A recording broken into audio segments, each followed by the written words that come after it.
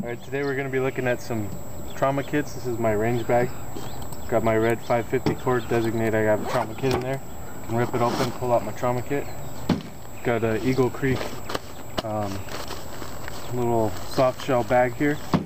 Can pop it open, unzip it, get access to all the gear. Uh, start off, I've got trauma shears. Got a couple of small rolls of gauze pretty useful for anything.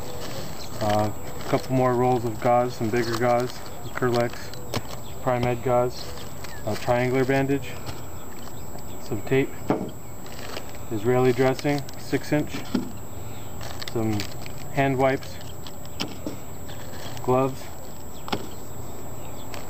cat tourniquet, uh, TK4 tourniquet, extra tourniquet, uh, ace type bandage, a couple 4x4s, and an Asherman chest seal,